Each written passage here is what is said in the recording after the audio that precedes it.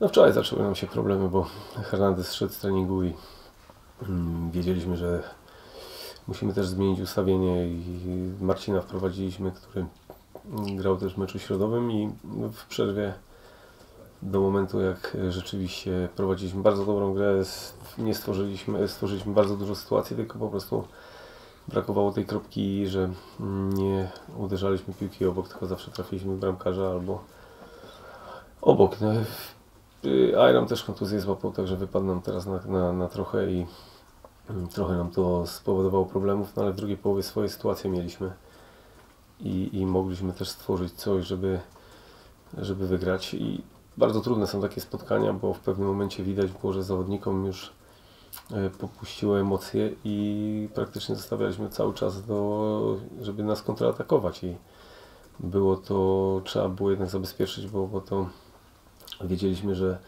tego meczu nie możemy przegrać. Chcieliśmy za wszelką cenę wygrać, ale w ostatniej minucie nawet sytuację, którą mamy po prostu nie, nie wykorzystaliśmy i zostajemy z jednym punktem. E, W początkowej fazie bardzo dobrze wprowadziliśmy się mecz. Graliśmy tymi skrzydłami, to co chcieliśmy. Byliśmy bardzo agresywni i w drugiej połowie jednak e, za wolno trochę prze, przemieszczaliśmy się w te boczne sektory boiska. Za szybko chcieliśmy e, dogrywać i tego, i tego nam zabrakło. Trzeba po prostu przygotować się teraz do następnego meczu. Cieszy to, że graliśmy z tyłu do zera, bo to też istotne, że w kolejnym meczu nie tracimy bramkę w defensywie, ale są na pewno po tygodniu, gdzie tydzień temu byliśmy w dużo, dużo lepszych nastrojach, dzisiaj na pewno zdecydowanie w gorszych, bo odpadliśmy z pucharu i dzisiaj nie wygraliśmy meczu, który chcieliśmy za wszelką cenę wygrać. Dziękuję bardzo. Czy są pytania do trenera? Andrzej Stanowski, Dziennik Polski. Sprawy personalne. Yy, Hernandeza kontuzja jaka wygląda? Na dłuższy okres wypada Panu z gry? Dzisiaj, dzisiaj rano miał USG i dopiero w poniedziałek, wtorek będzie wiadomo Mięśniowa sprawa, mięśniowa, ta, jeżeli chodzi o... Też boiska się bardzo zmieniły gdzieś i, i jest to trochę problem i, i to samo... Może na dłużej wypaść? Nie wiadomo. No później jest przerwa, no to miejmy nadzieję, że, że y, dojdzie do następnego meczu, a jakby nie doszedł, no to jest później przerwa i, i, i po tej przerwie mam nadzieję, że będzie, bo to samo z który dopiero zrobimy dzisiaj pewnie albo jutro, żeby na USG i po tej możemy podjąć decyzję co dalej. A Stuzika w ogóle nie było w 18. Dlaczego?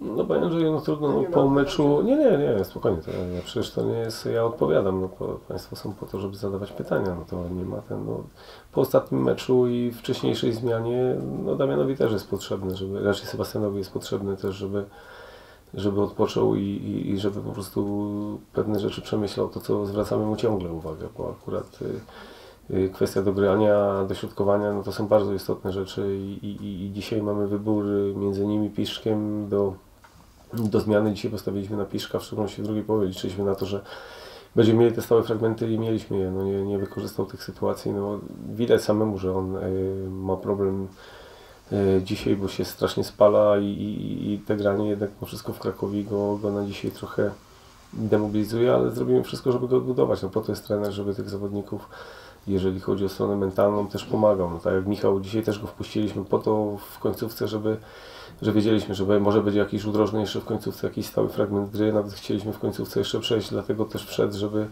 przejść na trójkę obrońców i, i, zdecydowanie jeszcze powiększyć tą ofensywę, no ale też w ostatnich minutach później Damian też się zdarzył głową i już nawet nie, nie, nie ryzykowaliśmy. Jeszcze jedno pytanie.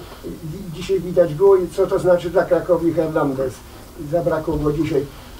Co Pan pomyśli? Ma Pan jakąś y, koncepcję gry, gdyby Hernandeza zabrakło? Kto by go mógł tam zastąpić? No bo Budziński już niestety to nie jest Budziński sprzed dwóch lat, który grał w Krakowie.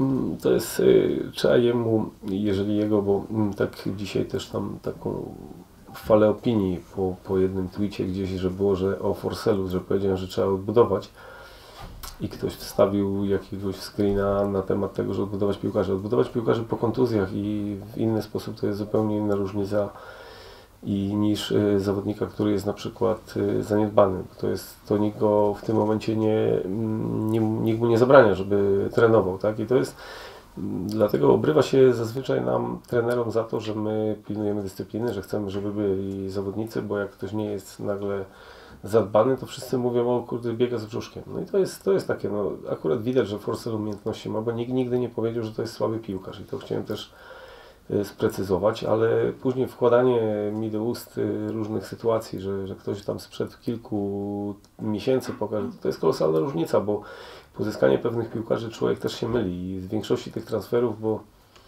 ocena tych transferów jest bardzo często tak, że nam się wszystkim wydaje, że do Krakowi wszyscy chcą przyjść.